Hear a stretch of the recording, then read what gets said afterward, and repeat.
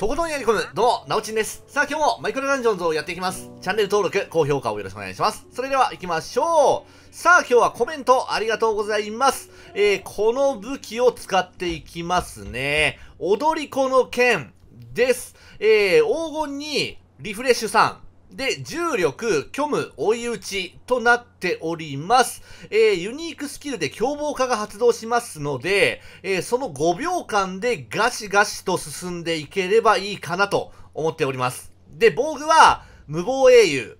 で、ハープクロスボウに、えー、ブーツ、ドラキノコですね。えー、それでは、デイリーの3ですね。えー、鉱山に行ってみましょう。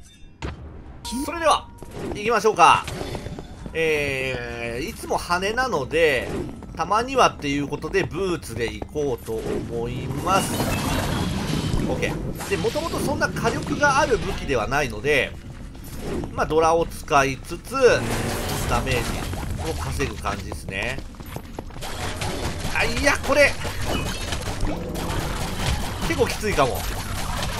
うん。で、あの凶暴化が入ってもキノコ使ってるとそこまで変わんないんだよね。うん。まあ若干変わるかもしれないけどもそこまでの強化にはならないんだよな。まあちょっと残念なところ。もっとしっかり重複してスピードがもうもろに上がればいいんですけどうわナイトモード最悪だ。これはきついぞあの、どうしてもきついなっていう時には、あの、羽に変えます。危ねうん。いやー、ちょっと待って、防護多くない？あ、でも、防護クエストっていうわけではないんだよね。防護クエではないんだけども、いや、防護が多いよ。多いとねちょっと戦いにくいよねオッケーオッケーまあまああまり前に出すぎないようにちょっと気をつけながらやっていきますでもちろんねキャプテンは倒していきますよ厳しいけどもなかなか絶対厳しい OK ああそうか衝撃波が入ってんのかデイリーでこの装備あの衝撃波との相性がすごくいいのでいいっすよね。うわ危ねよっしゃちょっと待って。急ぐぞ。いきます。いや行くぞ。よし。ちゃんと弓をしっかりと使いながらね弱体化させながら戦っていかないと絶対痛い。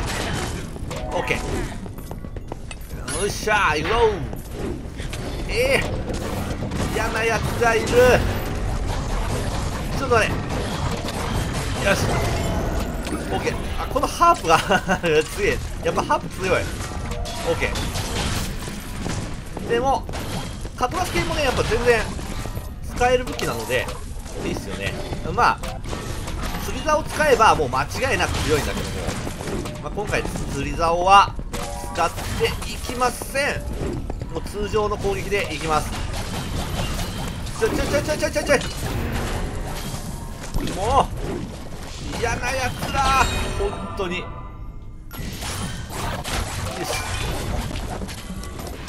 めちゃくちゃ嫌なやつだあそうか。そうかそうかそうか。そうそうそうよね。あのナイトモードでガシガシ湧いてくるのよね。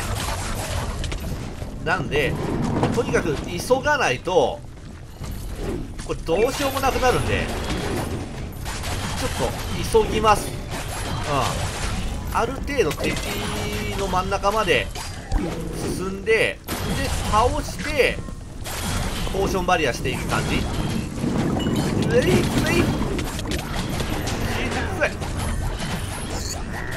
いよし。結構ちょっと危険な戦い方にはなる。んですけど危ねえ危ね危ないでも速い。あそうかモブ速度が上がるのね。モブ速度が上がってる変更点なんだな。OK ケーオッケーオッケー。もうそれで来たんだからもう頑張りましょうよ。オッケー。で名もなき刃の方が個人的には好きなんですけども、まあ、こっちは音がいいよね、うん、武器を振った時の音がかっこいいのでまあそれはそれで好きな感じです。OK いくぞ。おおいって敵がまあナイトモードもあってからね。多いのよ。OK あでも全然いける。うん。無謀入れてるんでやっぱ火力は通常の倍ぐらいあるんで大丈夫ですね。おいおいおいって。なんだこの数 OK なんか凶暴化が入ると若干速くなってる気がする。うん。あやっぱ若干だけども効果はやっぱあるんだろうね。なんかそんな気がする。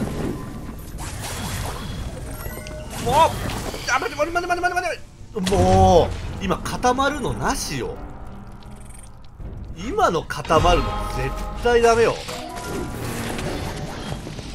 OK いや今の固まらなかったらやられてなかったからね。てかもうもうボス？早くない？キャプテンは1体だけです。しかもナイトモード。いや戦いに行く。よし。OK サクッと終わったな。うん。速攻で終わりましたけども。はい。えーと今日はデイリー3行ってみました。でコメントありがとうございます。えー、踊り子の剣ですね。えー、っと、ユニークスキルで、凶暴化で5秒間、えー、攻撃速度が上がるんですけども、キノコとね、まあ、若干重複するのかな。ちょっとわかんないですけども、うん。まあ、この音がかっこいいので、いいのではないでしょうか。まあ、それの姉妹品となる、これ、名もなき刃。これはね、えっ、ー、と、弱体化で結構使えますので、えー、ぜひ、入手したら使ってみてください。で、理想的なエンチャですけども、今回は、重力、虚無、追い打ち、えー、リフレッシュできてますけども、うーん、まあ、これもいいけども、追い打ちをクリティカに変えたり、アンチャンティングとか、えもしくは、えーと、衝撃波と旋風を入れるのも強いです。うん。衝撃波旋風を入れる場合は、えっ、ー、とね、リフレッシュと重力はなしにして、え輝きと、えー、雷なんかを入れると強いかなと思います。はい。ということで、またやっていきます。チェックをよろしくお願いします。そして、チャンネル登録と高評価もよろしくお願いします。それではご視聴ありがとうございました。